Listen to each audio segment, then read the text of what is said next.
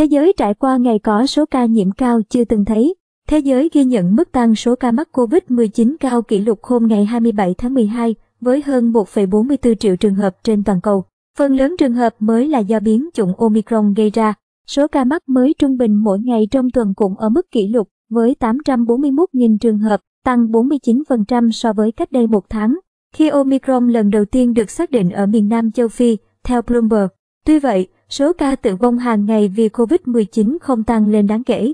Kể từ giữa tháng 10, số người chết do căn bệnh trung bình mỗi ngày trong tuần dao động ở mức 7.000 người, là biến chủng có tính đột biến cao và dễ lây truyền nhất. Omicron đang nhanh chóng trở thành biến chủng SARS-CoV-2 chiếm số ca nhiễm áp đảo trên toàn cầu. Các loại vaccine hiện hành được cho là bị giảm hiệu quả đối với chủng virus này. Các nghiên cứu ban đầu cho thấy Omicron có khả năng lây nhiễm nhanh hơn 70 lần so với các chủng trước đó, nhưng gây ra các triệu chứng bệnh nhẹ hơn, đặc biệt là đối với những người đã được chủng ngừa và tiêm nhắc lại. Dẫu vậy, khả năng lây lan nhanh chóng của Omicron vẫn có thể gây áp lực lớn lên các hệ thống y tế vốn đã căng thẳng, khiến các bệnh viện quá tải. Chính phủ các nước đã cảnh báo rằng số ca mắc và nhập viện có thể tăng cao sau kỳ nghỉ lễ. Các bạn nhớ đăng ký kênh và bật chuông thông báo để nhận được video mới sớm nhất nhé.